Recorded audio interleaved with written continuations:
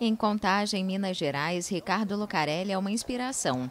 Foi na cidade natal que ele começou a jogar vôlei e a trajetória do vencedor do ouro nas Olimpíadas do Rio em 2016 é um orgulho para os conterrâneos.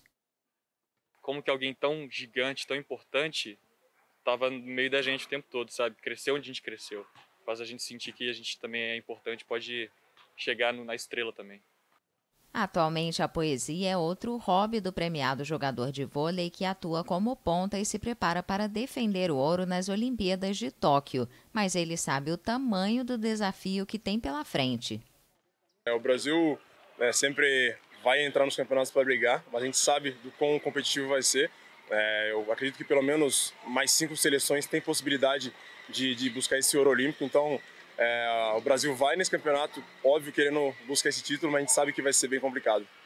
Outra preocupação é em relação à pandemia, que já levou ao adiamento dos jogos, à proibição de público estrangeiro e ainda gera muitas dúvidas há dois meses da data marcada para o início da competição. Eu acho que é possível sim fazer é, com que seja seguro realizar os Jogos Olímpicos.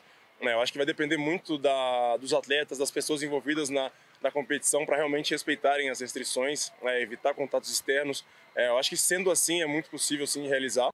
A crise sanitária afetou duramente atletas de todo o mundo que foram impedidos de frequentar os centros de treinamento e viram muitas competições serem canceladas. Para a seleção de vôlei, as últimas semanas têm sido ainda mais difíceis depois da internação em 16 de abril do técnico Renan Dalzotto. O ex-jogador de 60 anos está evoluindo bem após um caso grave de Covid-19, mas a presença dele no Japão ainda é incerta.